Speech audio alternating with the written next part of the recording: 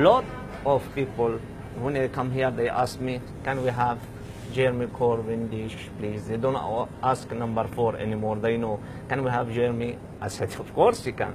And each time they eat this dish, they love Jeremy more. I met Jeremy about like eight, nine years. He's coming to my coffee here, and uh, Jeremy, the best man, always I said, I met in my life. Jeremy helped everybody. If I need help, he helped me. One person, he was a cry here. He was Jeremy here sitting at the table. He's sitting behind him, and he said, "My daughter and me will be homeless." We said, "Jeremy, please, can you help me?" Jeremy said, "Come to my office." And the man disappeared two weeks and come back. He said, "I'm very happy. I go home.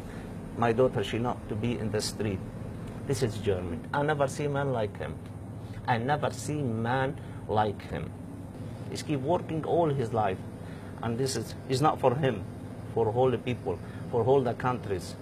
And this is the last chance for English people to not lose this man.